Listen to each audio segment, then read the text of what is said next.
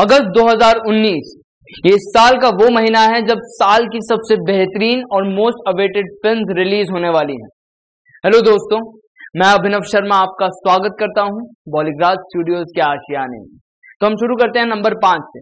Number पाँच पर है chicken curry law. Chicken curry law एक अपकमिंग क्राइम फ़िल्म है।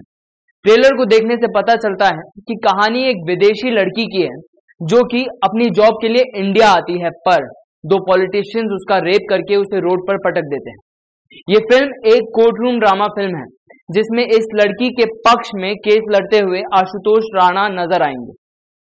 कैसे गुनहगारों को सजा मिलेगी, ये तो फ़िल्म जब 9 अगस्त को रिलीज़ होगी, तभी मालूम पड़ पाएगा। अब आते हैं नंबर चार पर। नंबर चार पर है जबरिया जोड़ी। जबरिया जोड़ी एक रोमांटिक कॉमेडी फ़िल्म है, जिसमें सिद्धार्थ मल्होत्रा और परिणीति चोपड़ा लीड रोल में है। तो वहीं सपोर्टिंग रोल में है संजय मिश्रा, जावेद जाफरी और अपार शक्ति खुराना। ट्रेलर की बात करें तो फ़िल्म का ट्रेलर बिल्कुल बिहारी स्टाइल में है, जिसमें सिद्धार्थ मल्होत्रा, दहेज लेने वालों के खिलाफ हैं और उनकी जबरिया जोड़ी बनाते हैं। ये इस साल की दूसरी ऐसी फ़िल्म है, जिसमें फुल टू बिहारी थीम है। इससे पहले आपने सुपर थर्टी तो देखी होगी, जिसमें ऋतिक रोशन अपने बिहारी एक्सेंट में धमाल मचाते हुए नज़र आए थे। जहाँ सुपर थर्टी शिक्षा के इर्द गिर्द थी, वहीं ये फ़िल्म शादी के इर्द गिर्द है। ये फ़िल्म भी 9 अगस्त को ही रिलीज़ होगी। नंबर तीन पर है बाटला हाउस। जॉन अब्राहम एक बार फिर अपने एक्शन मोड में वापस आ रहे हैं। बाटला हाउस एक रियल इंसिडेंट पर बेस्ड है। ट्रेलर में हम देख सकते हैं कि जॉन अब्राहम एक पुलिस वाले हैं जो कि अपनी टीम के साथ एक एनकाउंटर करते हैं।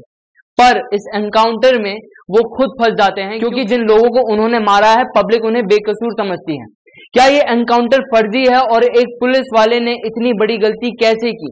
क्या जिनको मारा गया है, वो सच में बेकसूर थे?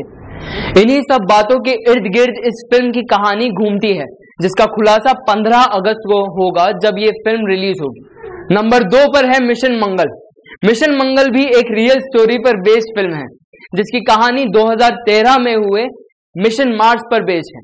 एक बार फिर अक्षय कुमार कुछ ऐसा करने वाले हैं जिसे देखकर हम सभी को अपने देश पर गर्व होगा।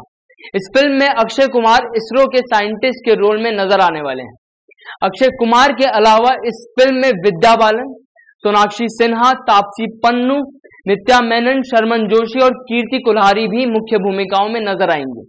ये फ़िल्म भी 15 अगस्त को ही रिलीज़ होगी, यानी कि इस साल स्वतंत्रता दिवस पर। अक्षय कुमार और जॉन अब्राहम के बीच में होगी टक्कर, जहाँ दोनों ही फ़िल्में देश की अलग अलग मुख्य घटनाओं पर आधारित हैं। तो ये देखना दिलचस्प होगा कि कहानी किसकी ज़्यादा मज़ेदार होगी और कौन सी फ़िल्म ज़्यादा धमाल मचा पाएगी। अब आते हैं नंबर एक पर। नंबर एक पर है साहो। साहो एक एक्शन थ्रिलर फ़िल्म है, जिसे सुजीत ने डायरेक्ट किया है। इस फ़िल्म के बारे में जितना बोला जाए, उतना ही कम है, क्योंकि इसके टीजर ने तो पहले ही फैंस का दिल जीत लिया है। और लोग अब इसके ट्रेलर का बेसब्री से इंतज़ार कर रहे हैं।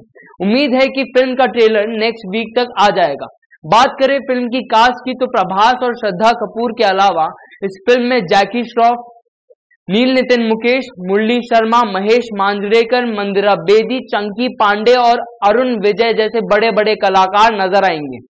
ये फ़िल्म 15 अगस्त को रिलीज़ होने वाली थी, लेकिन अब ये फ़िल्म 30 अगस्त को रिलीज़ होगी।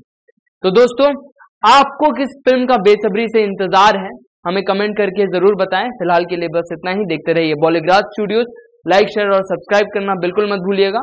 खुदा हाफिज।